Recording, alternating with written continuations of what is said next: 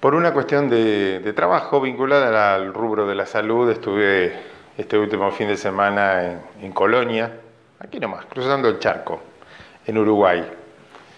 Y sirvió un ratito, unas horas, un día y medio de estar allí para advertir cómo, cómo estamos los argentinos por estas horas, ¿no?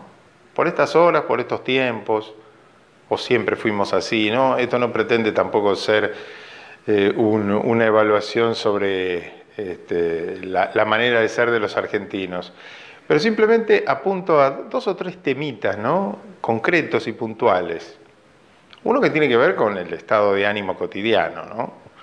Eh, encontrarse con gente que vive una vida mucho más serena, mucho más tranquila, mucho menos nerviosa, y no porque estuvieran de vacaciones o de paseo como podíamos estar nosotros, más allá de que estábamos cumpliendo una tarea periodística, sino estoy hablando de la gente que trabaja en el lugar, pero que se toma las cosas con otra filosofía, con otra tranquilidad, lejos de este nivel agresivo y violento que estamos teniendo en nuestra vida cotidiana de este lado del Río de la Plata. El segundo punto, bueno, el respeto por las normas, ¿no? Siempre me impresionará ver de qué manera eh, se manejan, se conducen los automovilistas cruzando el río de la Plata, sin ir más lejos, también en otras partes del mundo, ¿no? Y de qué manera lo hacemos los argentinos. El respeto por la norma, las normas son iguales, las normas también están aquí entre nosotros, el tema es el cumplimiento. Basta con que uno pise, pise no más este, una calle con el propósito de cruzarla, que el vehículo que viene por la avenida en una esquina sin semáforo se va a detener, no digo ya en la senda peatonal o en la raya que, que le colocamos a los automóviles, sino unos cinco metros más atrás todavía, como para darle tranquilidad al peatón de que nada va a pasar.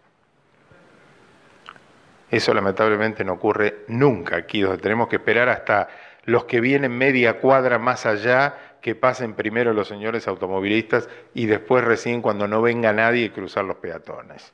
Las normas son las mismas, el tema es su cumplimiento, aunque algunos me decían, en Uruguay, si no cumplís con esa norma de respeto a la prioridad peatonal, la multa te puede costar medio auto. O sea que el garrote también está presente, ¿no? Y el tercer punto, una pareja de uruguayos que compartían un momento recreativo con nosotros, con el grupo de periodistas que estábamos ahí. Dice, ¿por qué politizan todo ustedes? ¿Cómo? ¿Por qué? ¿A qué te referís? dice, todo lo politizan. Si tomamos la, muerte de un joven mapuche o, este, o un joven desaparecido o el submarino desaparecido o cualquier otro acontecimiento de la vida común de ustedes, los argentinos, todo pasa por la política. Todo es llevado al plano de la ideología y de los kirchneristas y de los macristas. Dice, acá en Uruguay vivimos la vida, la vida nuestra, la vida que hacemos nosotros. Los gobernantes están allá para servirnos, para prestarnos los servicios públicos, pero no estamos pendientes de ellos, ni estamos llevando cada una de nuestras acciones cotidianas a esa politización, a ese, nivel ideológico que tenemos los que tienen ustedes, me decían los argentinos. Así que bueno, una, breve recorrida a, poquitos kilómetros de aquí, una hora de barco que nos separa para darnos cuenta de cuántas cosas tenemos que aprender, ¿no? Este, algunos dirán, bueno, estamos en una gran ciudad, en una gran metrópoli, no vas a comparar. Pero actitud, estado de tensión, de estrés, por un lado, la politización de todos los temas por el otro y el respeto por las normas, tres rubros sobre los que deberíamos trabajar un poquito más, de este lado del Río de la Plata.